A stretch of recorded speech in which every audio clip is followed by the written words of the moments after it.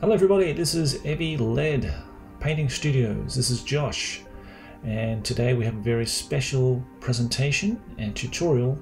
Thanks very much to Matt Willingham for sending me some of these beautiful common goblins from the 4th edition era sculpted by the Goblin King himself, Kev Adams.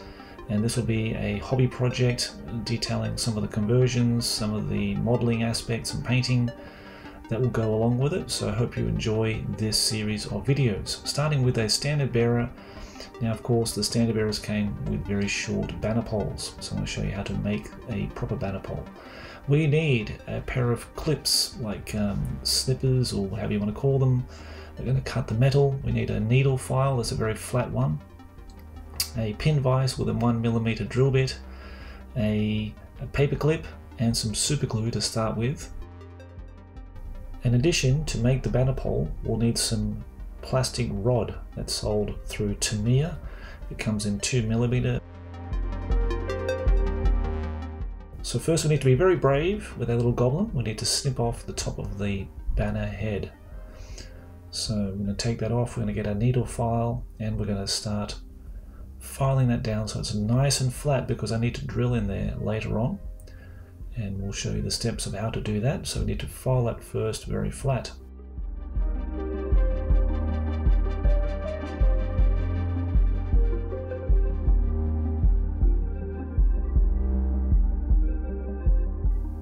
Then we need to just sort of measure up by eye to how tall and the length of the banner pole we need to uh, where it needs to be at. Now we can adjust this and I actually do that uh, later on in the video. I find that that's quite it's too long, so adjust it later. And the crossbar, because it's going to be a crossbar banner pole, so we need to make that uh, the top cross section.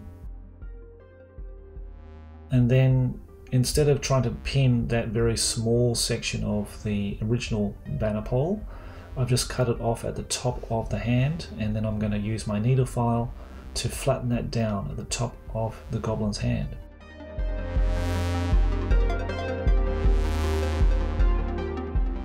After doing that, I'm going to take a very sharp scalpel, so be very careful when you're using sharp knives. And we're going to make a cross section. That's going to be like a pilot hole for the drill bit to drill into, so that we're not sort of, you know, the drill's not sort of going from left to right and coming off and, you know, stabbing you in the, in the thumb or finger, which I've done many times. We're just going to make a nice cross section, try to get into the center of where we want to drill into. Using a pin vise, start drilling very carefully. Don't put too much pressure because you don't want that drill bit to slip. Make sure you found that pilot hole center where that cross hole is and um, then start drilling. We want to drill in about at least three to four millimeters deep to put our pin. So as you can see here, we've got a nice deep and deep hole to place our pin in. Okay, from here we can sort of just have a quick look to see that it fits up nicely. There's no big size difference between the 2mm rod and the original banner pole itself. If there might be a slight size difference, well, I don't think it's going to matter too much. We need to file the ends of those PVC rods flat. So with our needle file, just go ahead and just file it nice and flat because we need to also drill those sections. So again, I'm going to cut that little cross hole section there to make my uh, pilot uh, pilot hole. Okay, so once you've done that, be careful not to cut yourself, of course. Then grab the drill vise and then start drilling a hole. And plastic, as it's plastic, it's going to be quite nice and easy. And you can see, probably see the tip of that drill going through there. And you want to drill again four to five millimeters deep into the PVC rod. Bending out our paper clip we're going to take some super glue and we're actually going to glue that into the PVC rod.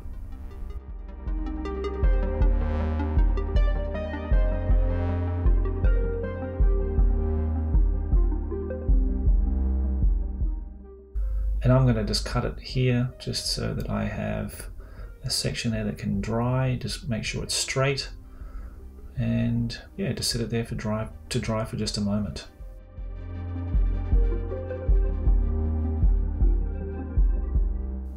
And do this on the other side of the banner pole as well.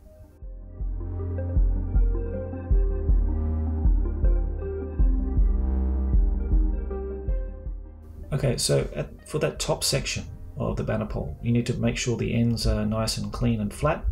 So with your needle file, just make sure those sections are done before moving on. Uh, you can see now that I'm just making a sort of a dry fit to see, okay, well that's going to be about the center. Now, if you look at the grid on my cutting board, well that'll give me the perfect way of trying to measure uh, just by eye uh, where the center of that cross the cross beam will be. So I'm just sort of just looking now to see what it's going to look like uh, when it's all put together and everything looks fine. Just dry fitting it here. Yep, that looks nice where it is there. And now we're sort of just measuring to see where the center is. So we're going to mark that with a pen initially, and then you're going to see me using another file. Now this one will be a round file, round needle file. Uh, the reason why I'm using this is so that I can then use that to press down onto the center. Holding it down, I can make a nice little pilot hole uh, section for my drill because I need to drill through that into the center of it. It's going to be very uh, difficult to do that on a very concave surface. It's quite slippery with that PVC.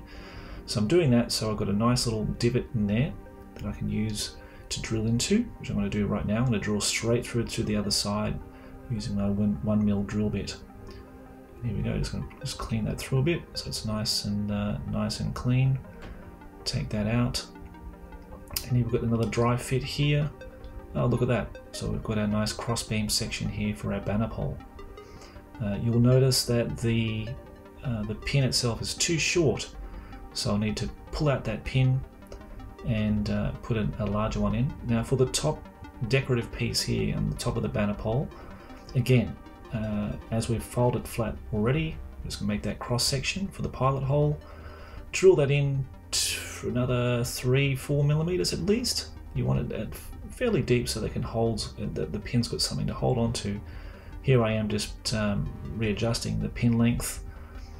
Uh, again, another dry fit to just check everything's okay. Yep, looks pretty good. Let's put it all together and see what it looks like. Now you need to cut that pin uh, obviously to make it suit and fit the top of the, the banner pole there, which it does nicely. So then we add, add some glue. It's ready now. We've done our dry fits. Everything fits okay. Now we're ready for the gluing process. So glue that first. Add a bit more glue to the top. And our decorative banner head.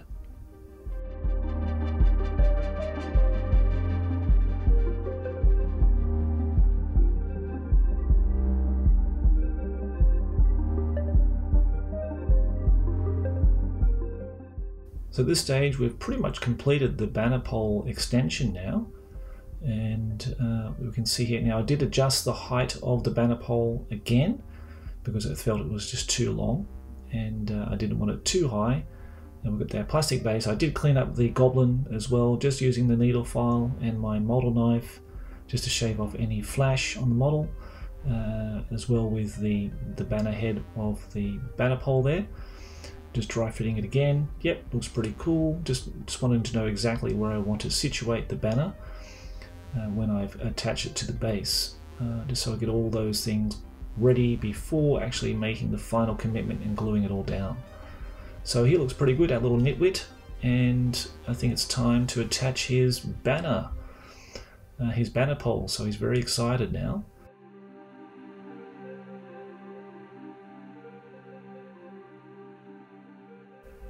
So guys, as we approach the end of this tutorial, I hope that you can see that it's not overly technical, not overly complicated. If you have the tools and you have the materials, uh, it's very achievable. So I hope you enjoyed this tutorial. If you have any comments, please leave them below. I'd really appreciate your feedback and look forward to the next video as I go to paint this beautiful iconic model in my collection. Thanks again to Matt for this wonderful gift. Uh, I really appreciate that, Matt. Thanks again guys for watching this video. If you'd like to show your support and appreciation, please consider listening to the podcast, share it with friends and like-minded people, and also please become a Patreon. Thanks very much for watching. Take care. See you in the next one. Bye-bye.